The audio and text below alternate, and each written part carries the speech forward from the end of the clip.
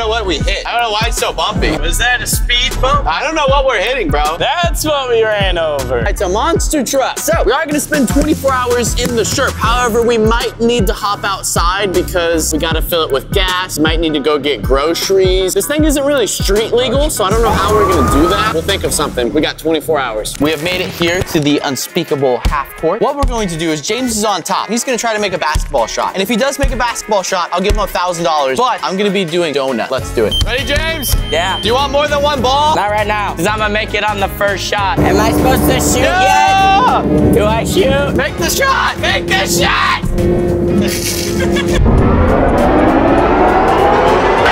Yeah! You made it. I made it! Let me back in the car.